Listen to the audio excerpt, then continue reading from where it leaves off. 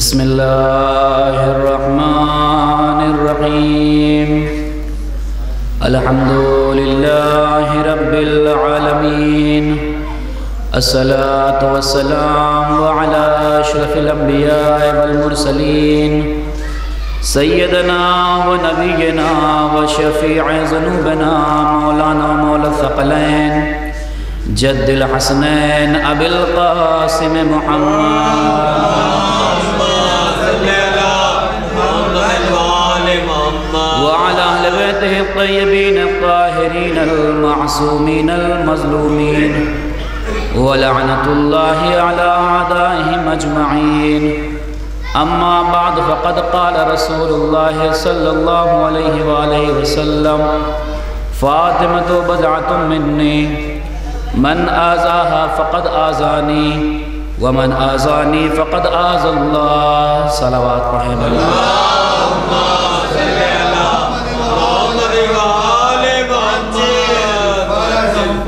हज़रात ग्राम कद्र मुसलसल मजालिस का सिलसिला बाद नमाज़ मगरबैन जारी वसारी है और ये अयाम अज़ाय फ़ातमिया के हवाले से मुनद किया गया जो प्रोग्राम है आपके दयार में, आपके वतन में।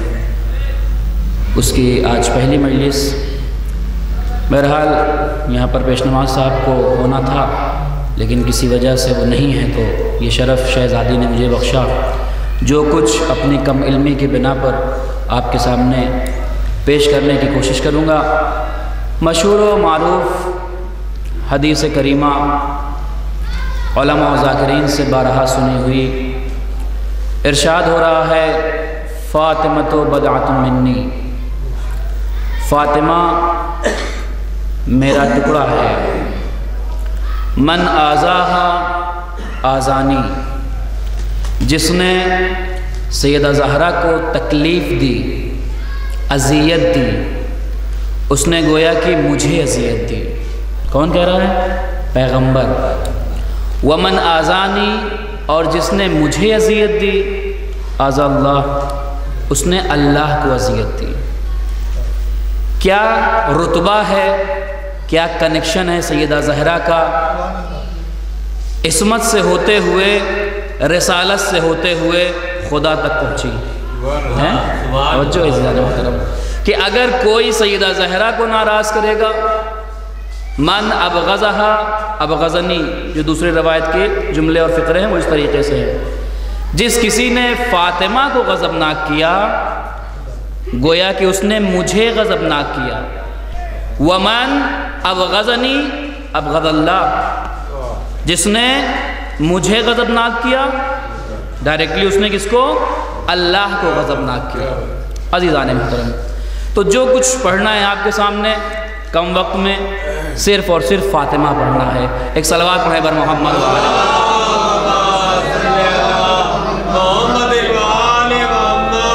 सईदा ज़हरा अलैहा की फ़जीलत के सिलसिले में बहुत सारी अहादीस बयान की गई हैं। और उसमें बाकायदा तौर पर जो पढ़ते हैं कि हर एक अंदाज सैदा का ऐसा हुआ करता था कि जिसको देख करके फरिश्ते रश्क करते थे। और अंदाज़े इबादत सैदा को देख करके फरिश्ते तस्वीर इलाही में मसरूफ़ हुआ करते थे। इसीलिए रवायतें रवायतें बताती है कि जब जनाब सैदा महराब इबादत में आकर के अपने परवरदिगार के सामने खड़ी होती थी तो उस वक्त सत्तर हज़ार मलाइका सत्तर हज़ार मलाइका देख करके अंदाज इबादत को तस्बीह पढ़ते थे और सलवात पढ़ते थे। एक सलवात पढ़े बर मोहम्मद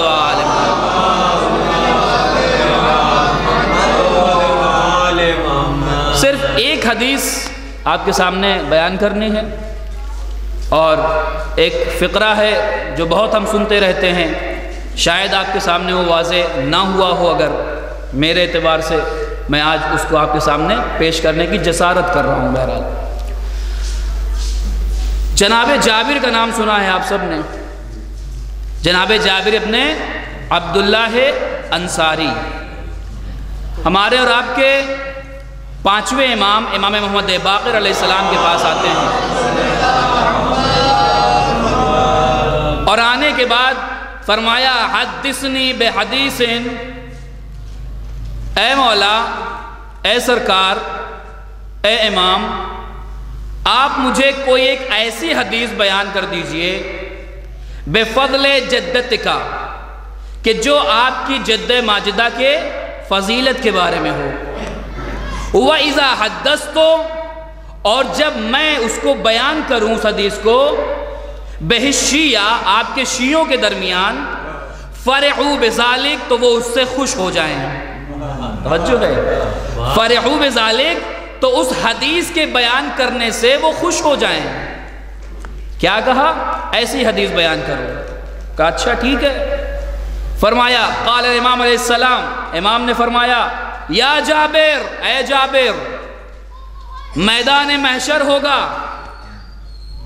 और तमाम के तमाम अंबिया एक सफ में होंगे। और उस सब में सबसे बुलंद मर्तबे पर जो होगा, उनको नूर का मिंबर अता किया जाएगा। और उस नूरानी मिंबर पर नबियों के सरदार मोहम्मद मुस्तफ़ा सल्लल्लाहु अलैहि वसल्लम होंगे। कौन होगा? पैगंबर होंगे उस पर। और वहाँ पर जाकर के जब बैठेंगे तो आवाज़ आएगी ओख्तब खुतबा दो। खिताब करो। फिर पैगंबर ऐसा खुतबा देंगे कि जो तारीख़ बशर में ना किसी ने सुना था, ना खुतबा दिया होगा वैसा। ठीक है? ऐसा खुतबा दिया जाएगा। उसके बाद फिर आवाज़ आएगी कि औसिया कहाँ हैं? औसिया भी वहीं पर आएँगे मैशर के मैदान में। और तमाम औसिया में सबसे बुलंद मर्तबे पर जो होंगे उनको भी नूर का मेंबर दिया जाएगा। और उस मिंबर पर कौन होगा? अली मुर्तज़ा अलैहिस्सलाम होंगे।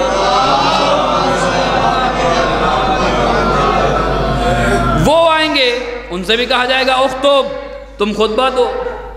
खुतबा देंगे, ऐसा खुतबा देंगे कि वसियों में से कभी किसी ने ऐसा खुतबा ना दिया होगा, न सुना होगा।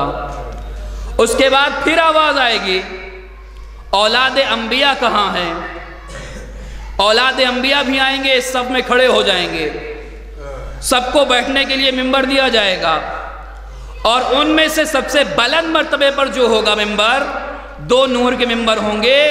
उस पर जो सवार होंगे, जो बैठे हुए होंगे, वो हसनैन करीमैन सलाम होंगे।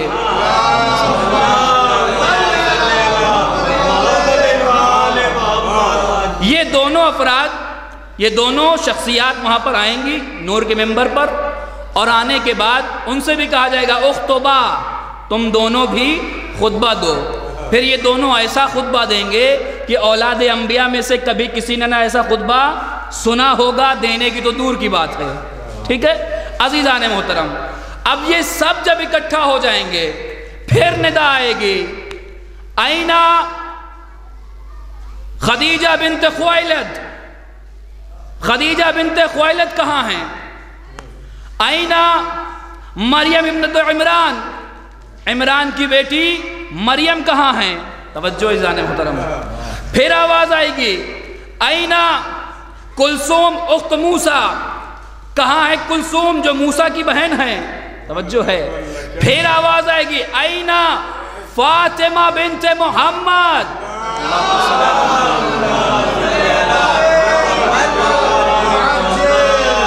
जैसे ही ये कहा जाएगा कि पैगंबर की बेटी सैदा कहाँ है, फ़ायकुम ना, पर सब के सब खड़े हो जाएँगे। बस सब के सब खड़े हो जाएँगे, अजीज़ान मोहतरम। अब यहाँ तक मैं आपको ले आया, अब इस हदीस को यहीं पर रोकते हैं। हम और आप अक्सर मजलिसों में सुनते रहते हैं, क्या कि पैगंबर इस्लाम का ये मामूल रहा था, क्या कि जब भी जनाब सैदा आपके पास आती थी तो खड़े हो जाते थे। क्या है हदीस? क्या है फिक्रा? वलम्मा दखलत है फातिमा। जब भी पैगंबर के पास फातिमा सलाम आती थी, ठीक है? काम इलेहा रसूलुल्लाह। तो रसूलुल्लाह अपनी जगह से खड़े हो जाते थे। वह अजलसहा अला मकाने। और वो अपनी जगह पर उनको बिठाते थे। ठीक है? ये सुनते रहते हैं हम? अब तवज्जो दें, अपनी जगह पर बिठाते रहते थे। यहाँ पर हमारे उस्ताद अल्लाह गरीक रहमत करे। आप बुज़ुर्ग जानते होंगे, अल्लामा तकीर हैदरी साहब, प्रिंसिपल साहब हमारे। उनका बड़ा ही मशहूर जुमला। उन्होंने कहा कि इस हदीस को सिर्फ़ दुनिया तक महदूद ना किया जाए, बल्कि इस हदीस को आखिरत में भी देखा जाए। ये ही यहाँ नहीं देखा जाएगा कि ये जब भी फातिमा आती थी तो पैगंबर खड़े हो जाते थे, हाथों के हाथों को बोसा देते थे, अपनी जगह पर बिठाते थे, सारी चीज़ें सिर्फ़ दुनिया तक महदूद नहीं है, बल्कि इसको आखिरत में भी हमें देखना होगा। इसीलिए तो कि जब वहाँ पर नाम लिया गया कि फातिमा बिनते मोहम्मद कहाँ है तो वहाँ पर सब के सब खड़े हो गए। तो अब आप खुद ही बताइए कि जहाँ पर रसूल मौजूद हो, फातिमा की आमद हो, अगर रसूल खड़े हो जाएँगे तो क्या अली बैठे रहेंगे, हसन बैठे रहेंगे, हुसैन बैठे रहेंगे, उनकी उम्मतें बैठी रहेंगी। कहा कोई नहीं बैठा रहेगा। कहा जब रसूल खड़े हो जाएँगे तो सबको इस्तकबाल फातिमा में खड़ा होना पड़ेगा। इसका मतलब ये है कि इस्तकबाल फातिमा में सारी खुदाई को खड़ा होना पड़ेगा। सलावाद पड़े बर मोहम्मद वाले मोहम्मद। एक और सलवार पढ़े, बेहतर अंदाज से आप बता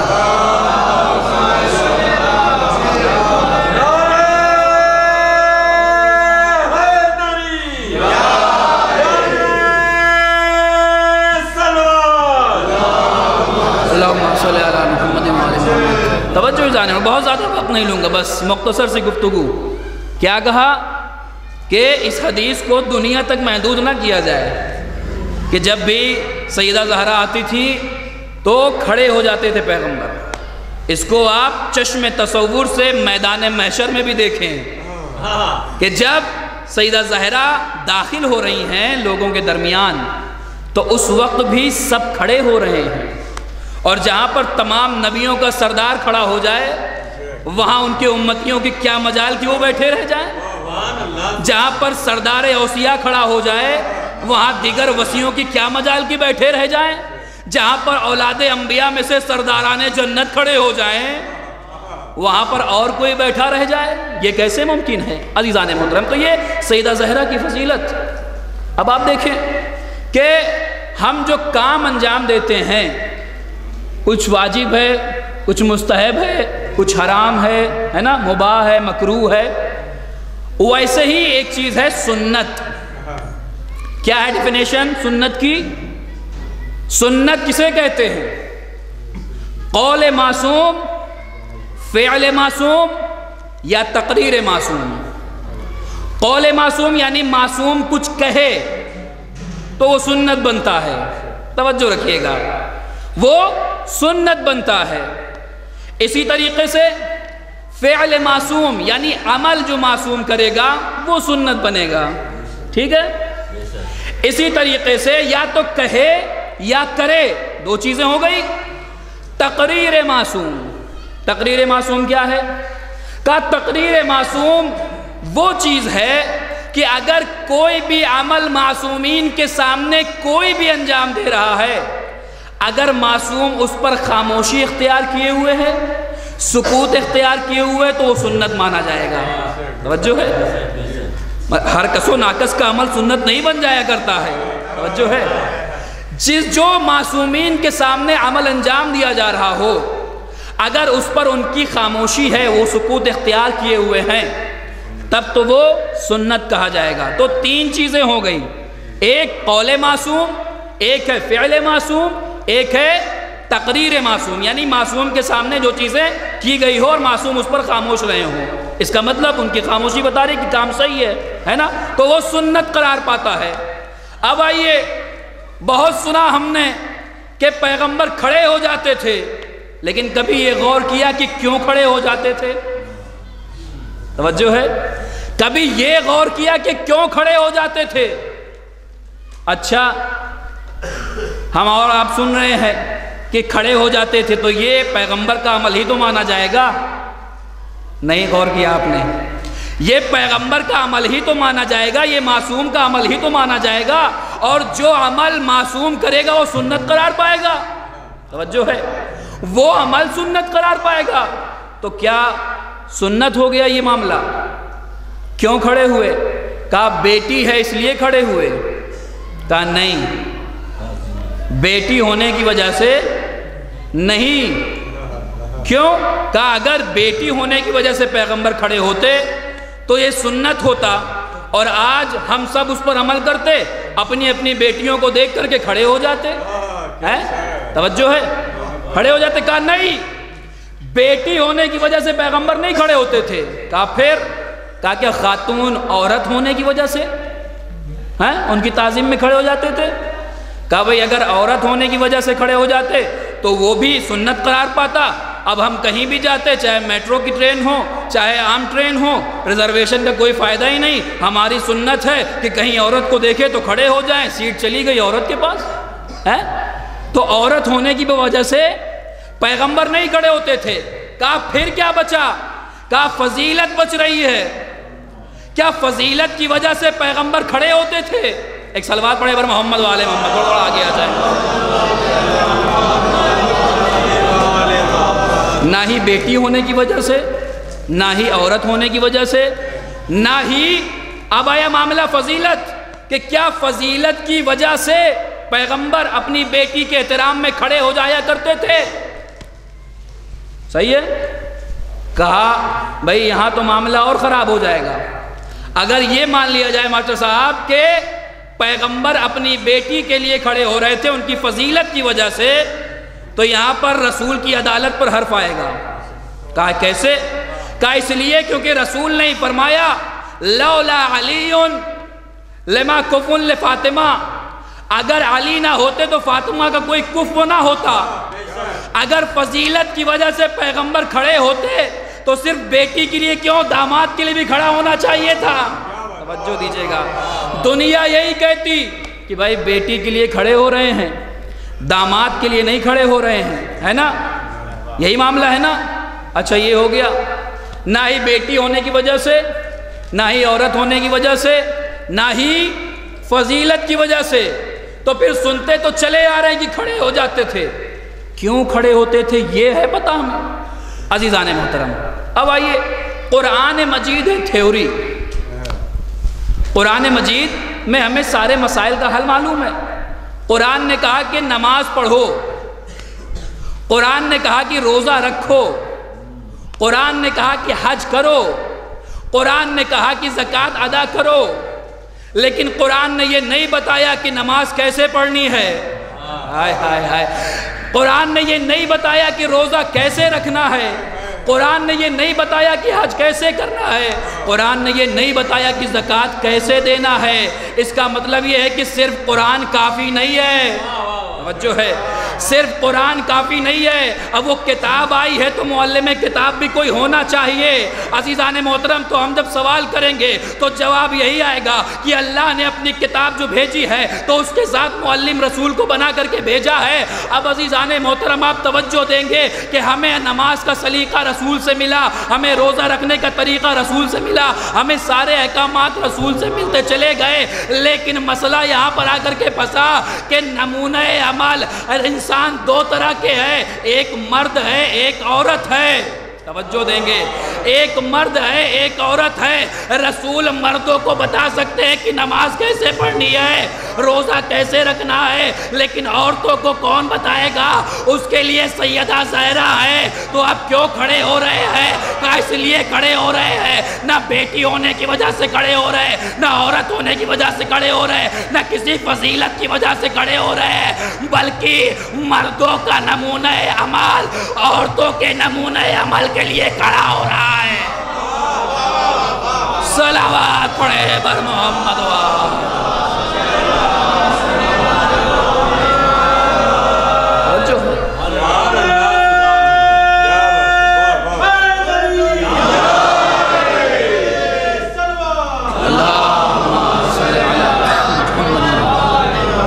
जो है, क्यों खड़े हो रहे थे पता चला?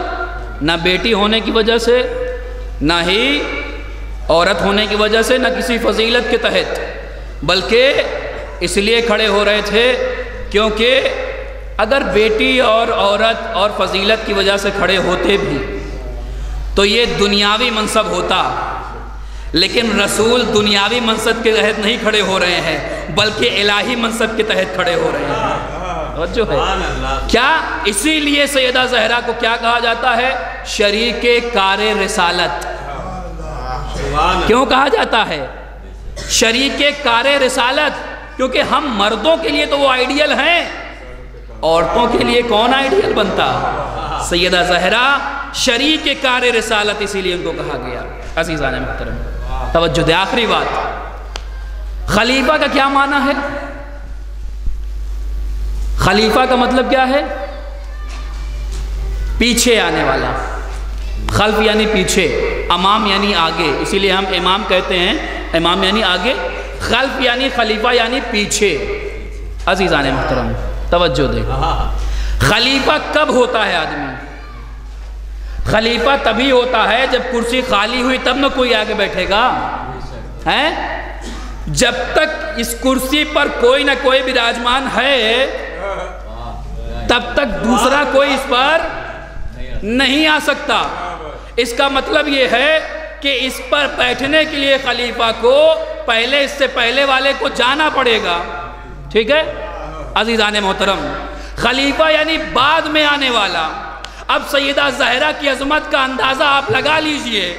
अजीज़ान मोहतरम अली जो कुछ भी है, वो रसूल के बाद है। सैयदा को जो कुछ भी है, वो रसूल के साथ है। अली जो कुछ है, वो खलीफा है, वो रसूल के बाद हैं। लेकिन सईदा जहरा जो कुछ है, वो शरीक कार रसालत हैं, वो रसूल के साथ हैं। अजीज़ा ने तवज्जो है। अल्लाह अकबर। एक सलवार पढ़े पर मोहम्मद वाले।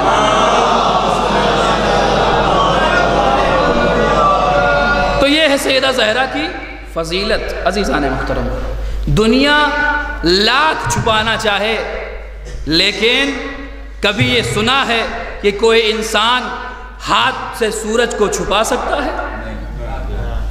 उसको वक्ती तो लगेगा कि हमने सूरज को छुपा लिया है, लेकिन उसकी किरणें इलाही है तो उस तक पहुँच करके रहेगी। अजीज़ा ने मुहतरम। सैदा जहरा की फजीलत को कम करने वाले क्या समझते हैं? कि वो सईदा जहरा के ज़िक्र को मिटा देंगे लेकिन नहीं अजीज़ा ने मुहतरम सईदा जहरा का ज़िक्र कभी नहीं मिटने वाला। इसलिए कि ये कायनात जो खल्क हुई है वो सईदा जहरा के ही तो फैल में अल्लाह अकबर अल्लाह अकबर। हाँ अजीज़ा ने मुहतरम ये सईदा जहरा के तुफैल में ही। और कम करने वाले फजीलतों को कहाँ तक कम करेंगे? जिस इस्लाम का शोर गोगा वो लेकर के आगे बढ़ते जाते हैं। उनको ये मालूम नहीं है कि जिस इस्लाम का नाम लेकर के वो आगे बढ़ रहे हैं, उस इस्लाम को लाने वाला सैयदा का बाबा है, उस इस्लाम को फैलाने वाला सैयदा का शौहर है, उस इस्लाम को बचाने वाले सैयदा के बेटे हैं। सलवात पढ़े पर मोहम्मद वाले मोहम्मद।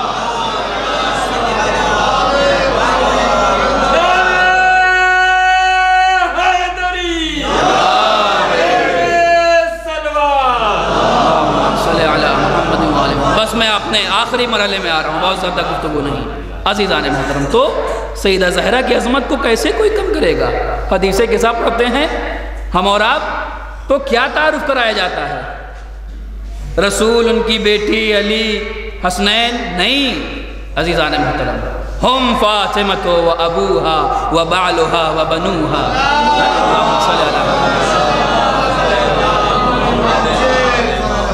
तारुफ किसके ज़रिए से कराया? सैदा जहरा के ज़रिए से। अल्लाह अकबर। अब आइए।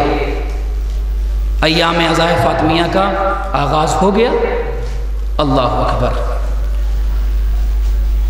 तवज्जो दें। सईदा जहरा की फजीलतों को कम करने वालों ने बहुत कोशिश की कि कम करें। लेकिन कम नहीं हो सकती। पामालिए गुल से कहीं दब सकती है खुशबू। रौंदोगे तो फूलों की महक और बढ़ेगी।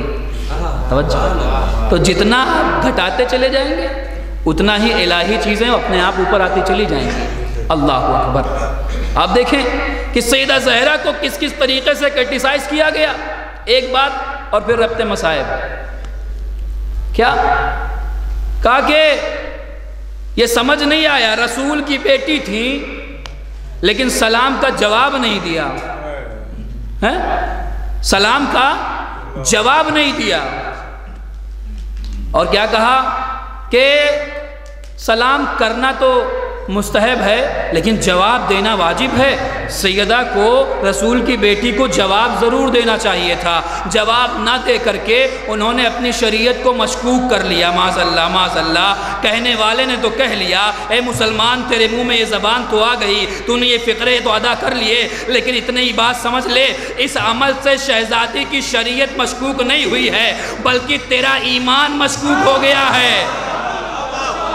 बल्कि तेरा ईमान मशकूक हो गया है। सैदा जहरा ने जवाब ना दे करके बताया कि शरीयत का मसला अपनी जगह सही है, लेकिन क़यामत तक आने वालों को मैं ये बताना चाहती हूँ कि मुसलमान के सलाम का जवाब देना वाजिब है, काफिर के सलाम का जवाब नहीं।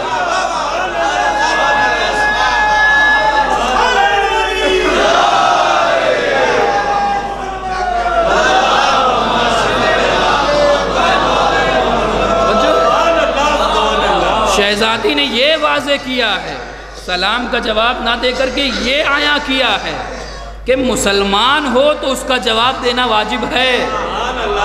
लेकिन जिसके अंदर कुफ्र का कीड़ा पल रहा हो, जो मुझसे मैं कीड़ा हो पूरा, है, और ऐसा कीड़ा कि जिसने इस्लाम की बुनियाद को खाना शुरू किया, है तो फिर उसको जो है सलाम का जवाब देना ज़रूरी नहीं है, वाजिब नहीं है। बात जहाँ से शुरू की थी, वहीं पर फिर आ जाता हूँ। हदीस अभी ख़त्म नहीं हुई। सब के सब आ गए अम्बिया भी आ गए, औसिया भी आ गए, औलाद अम्बिया भी आ गए, ये तमाम ख़वातीन भी आ गई। खदीजा बिन ख़वालद, मूसा की बहन जनाब कुलसूम और जनाब मरियम और जनाब सईदा जहरा। और आने की वो शान व शौकत है कि वो बयान करने में कम से कम आधा घंटा चला जाए।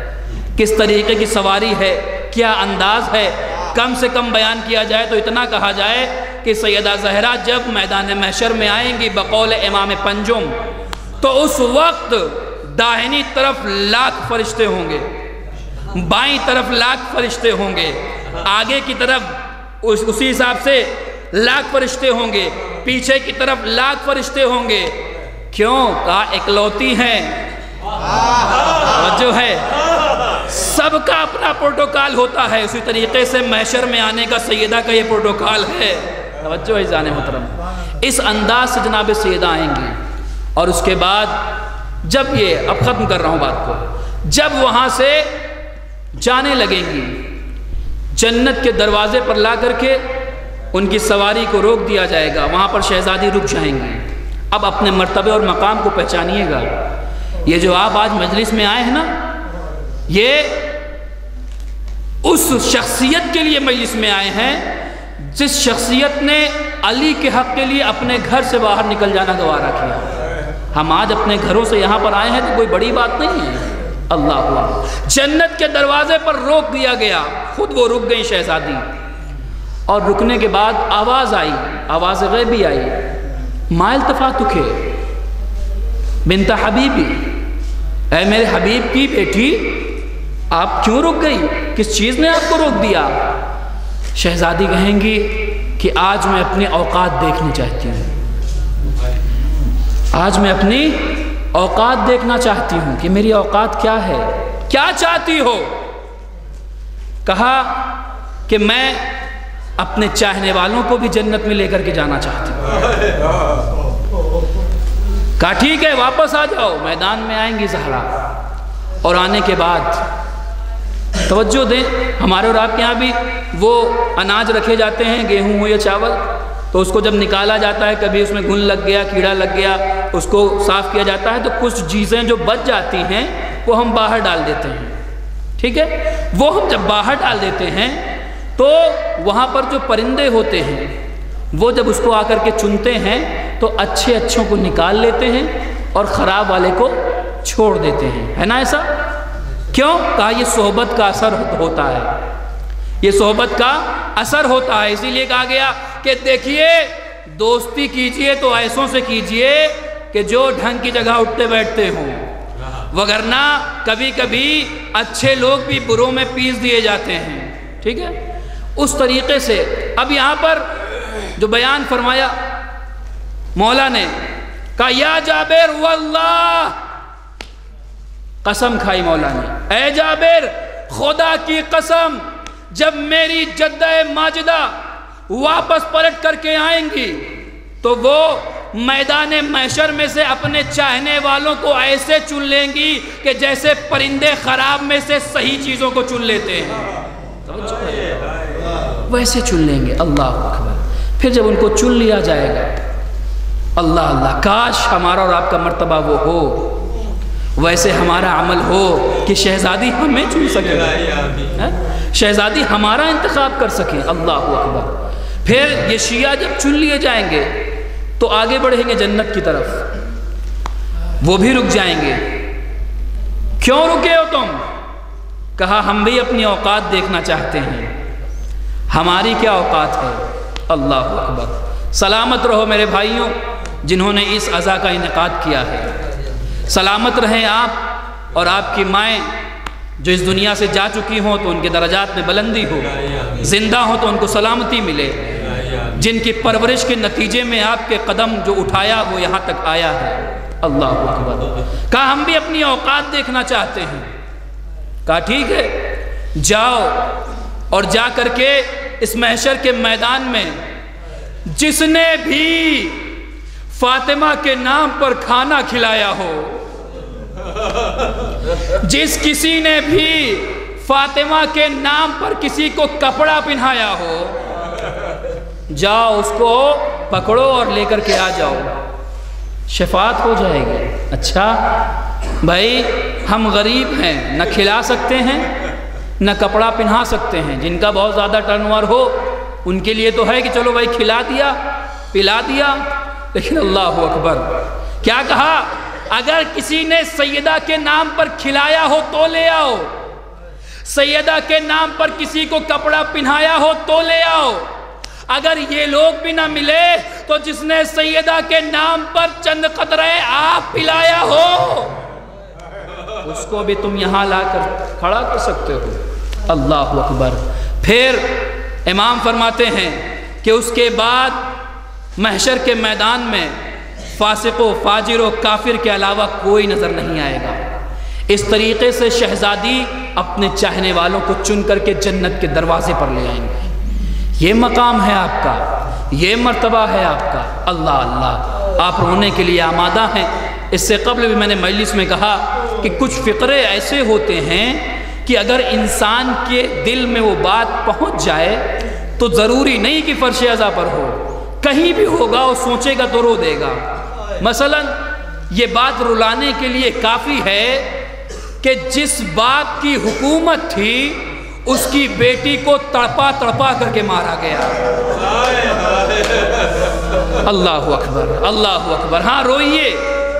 ये वो मजलूमा है, ये वो मासूमा है कि जो उम्मुल आइम्मा है, जो तमाम इमामों की माँ है। और आपको ऐसे रोना है कि जैसे एक माँ अपने बेटे से बिछड़ जाता है, वो ऐसे रोना है। ये भी हमारी माँ है अजीज़ा ने मोहतरम। उम्मुल आइम्मा है, ऐसे हमें क्रिया करना है। क्या हुआ?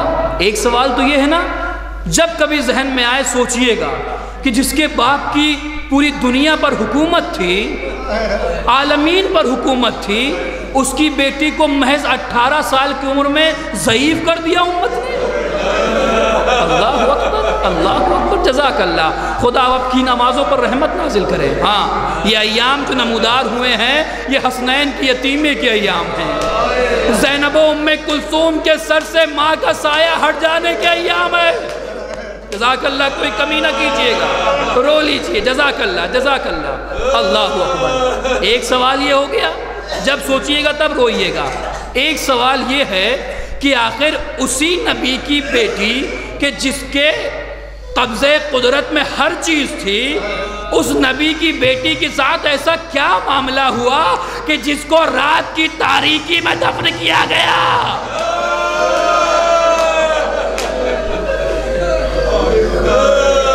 जजाकल्ला जजाकल्ला खुदा आपको किसी गम में न रुलाए सिवाय गम सैदुलशहदा के। जिस फातिमा को, मुसलमानों को शफाहत का ज़रिया बनाना चाहिए, उस फातिमा के साथ उन मुसलमानों ने क्या सलूक किया? अल्लाह अकबर, अल्लाह मुसलसल ये मजलिसें चलेगी।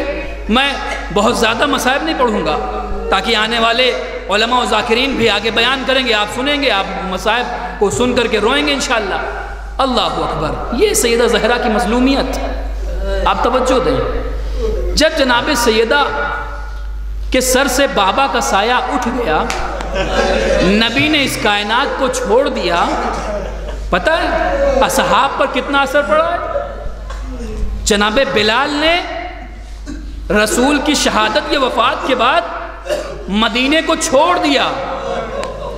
और जब मदीने को छोड़ा तो एक दिन जनाब बिलाल के ख्वाब में पैगंबर आए और आने के बाद का ए बिलाल, अरे लोगों ने तो छोड़ दिया था, तुमने भी हमारे बच्चों को छोड़ दिया। अल्लाह अकबर। बिलाल ने मदीने को तर्क कर दिया। यहाँ तक की रवायतें बताती ओलमा पढ़ते हैं कि जनाब सलमान फारसी पैगंबर की शहादत के बाद, वफात के बाद दस दिन तक घर से बाहर नहीं निकले। उनके बेटे जनाब अब्दुल्ला का बयान है कि बाद आशरत अयाम दस दिनों के बाद मेरे बाबा घर से बाहर निकले। और जब घर से बाहर निकले तो सामने अली आ गए। जब सामने अली आए तो अली ने रोते हुए कहा, या सलमान, जफौतनी, तुमने भी मेरे ऊपर जफा की। तुमने मुझे छोड़ दिया। एक मरतबा सलमान जवाब देते हैं अमित का तुझवा तुझफा क्या आपके ऊपर भी कोई जुल्म कर सकता है? आपको कोई छोड़ सकता है? तुझफा आपके ऊपर भी जुल्म हो सकता है?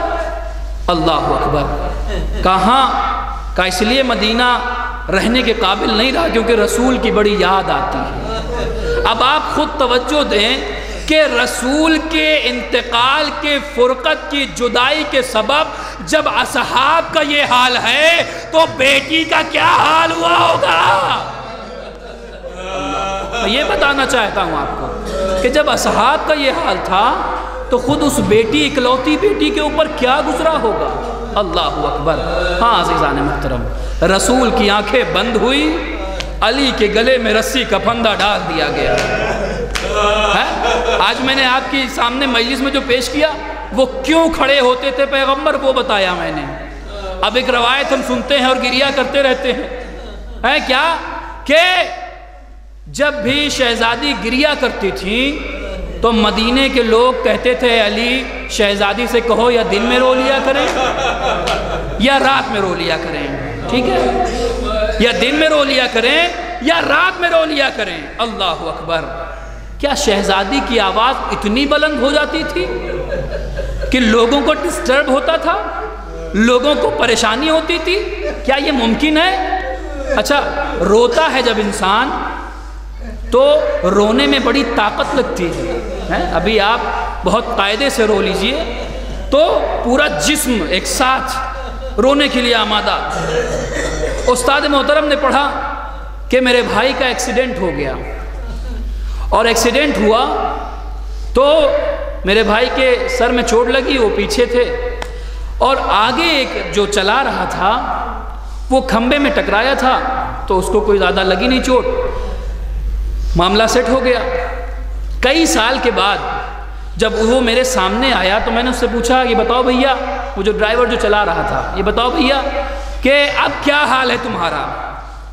कहा कि, चचा, बिल्कुल ठीक हूँ लेकिन जो मुझे यहाँ चोट लगी थी, जो पसली के पास मुझे चोट लगी थी, आज भी रह रह कर कभी कभी दर्द उठने लगता है। जब कभी रोता हूँ तो एहसास होता है कि मुझे चोट लगे। अल्लाह अकबर। अब हड्डियों के डॉक्टर से पूछा जाए तो यही बताएँगे कि इंसान जब रोता है तो उसकी पसलियों पर बड़ा असर पड़ता है। नहीं पता कि शहजादी ने पचहत्तर या नब्बे दिन कैसे गुजारे। अल्लाह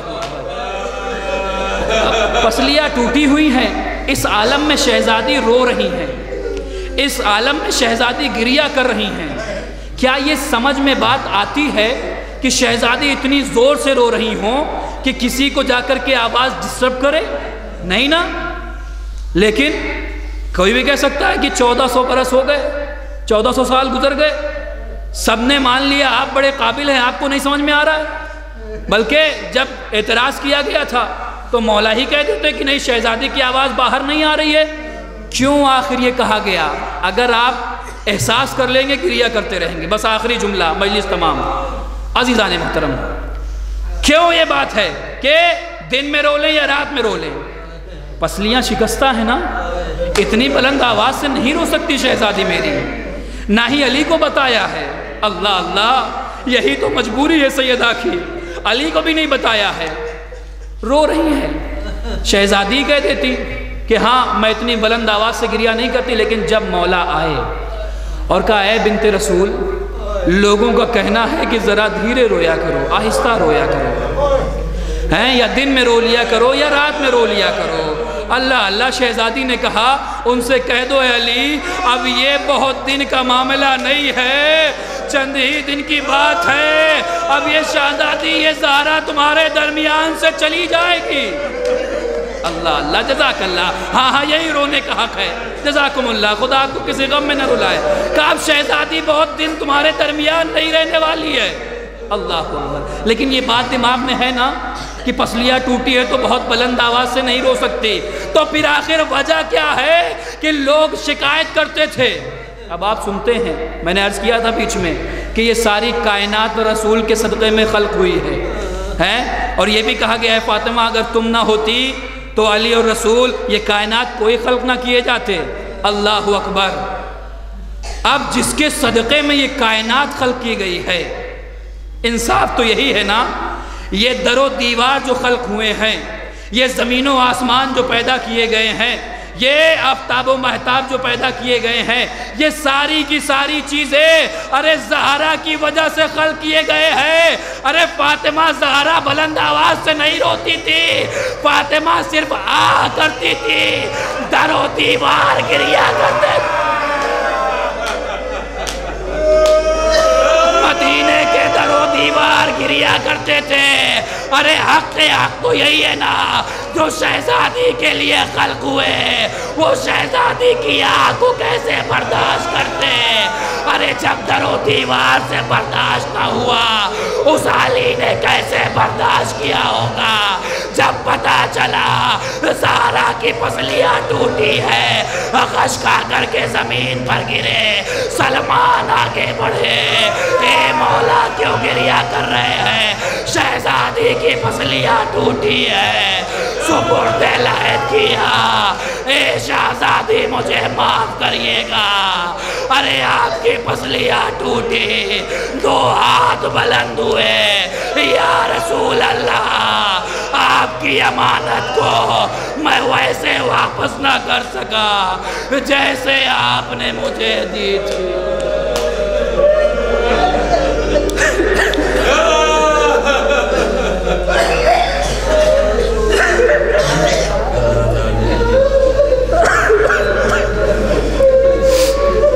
वसलमजीन ज़लम अयमनकलबीन तलबून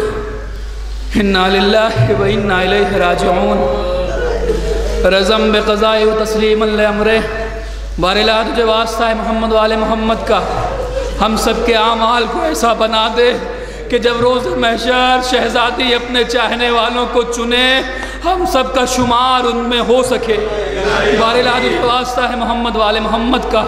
हमें सही तरीके से इन अयाम में अज़ाय फ़ातमिया में बढ़ चढ़ कर के हिस्सा लेने की तोफ़ी मरहमत फरमा। अगर हम मजलिस अज़ा इनका कर रहे हैं तो बहुत शुक्र है बीबी का। नहीं कर रहे हैं तो कम से कम मजलिसों में शिरकत करें। शहजादी की तमाम मजलूमियत को दुनिया वालों के सामने पेश किया जाए और उसका यही तरीक़ा है कि हम मजलिसों में हाजिर हों। हाँ ज़ान मोहतरम बारला वास्ता है मोहम्मद वाले। मोहम्मद का पसलियाँ भी टूटी थी, आज कब्र भी टूटी हुई है। बारला तुझे वास्ता है मोहम्मद वाले। मोहम्मद का जल्द अज जल्द जंदुलबकी के तामीर होने के इसबाब फराहम फरमा। हम सबको ज़्यादा से ज़्यादा नेक अमाल करने की तोफ़ी मरहमत फरमा। बरज वास्ता मोहम्मद वाले मोहम्मद का रोज़ात मुक़दसात की हिफाजत फरमा। आलाम का साया हमारे सरों पर कायम दायम फरमा। फिर अजीज़ों, एक गुजारिश और है दुआ की शक्ल में। क्या कहा? यही आवाज़ आई थी ना कि जाओ जिसने फातिमा के नाम पे कुछ किया हो उसको ले आओ। खुदा के लिए अपने दरमियान जो भी ना इतफाक़ियाँ हैं दूर कर लीजिए, फातिमा के नाम पर दूर कर लीजिए सैदा के नाम पर दूर कर लीजिए। कल को मैदान महशर में इसी वजह से हमारा फ़ायदा हो सकता है। बर जो वास्ता है मोहम्मद वाले मोहम्मद का। हम सबको आपस में इतिहाद इतफ़ाक़ के तोफ़ी मरहमत फरमा। बर जो वास्ता है मोहम्मद वाले मोहम्मद का, जो पे औलाद उन्हें साहिब औलाद फरमा। जो बेरोज़गार है उन्हें रोज़गार से लगा। जो रोज़ी से लगे उनके रोज़ी में बरकत इनायत फरमा। बर जो वास्ता है मोहम्मद वाले मोहम्मद का, जो इससे कबल इन मजलिसों में शरीक रहा करते थे। आज हमारे दरमियान मौजूद नहीं है। इस दुनिया से जा चुके उनके दराजात में बुलंदी इनायत फरमा। हम सब के गुनाह सग़ीरा व कबीरा की मफ़रत फरमा। हम सब के वालदेन गुनाह सग़ीरा व कबीरा को मुआफ़ फरमा। हल्लौर को आफत अर्ज़ी समावी से महफूज फरमा। इमाम के जहूर में ताजील फरमा। हम सबको उनके आवान अनसार में शुमार फरमा। रबना तकबल मन्ना इन का तसमिल अलीम। मातम हुसैन।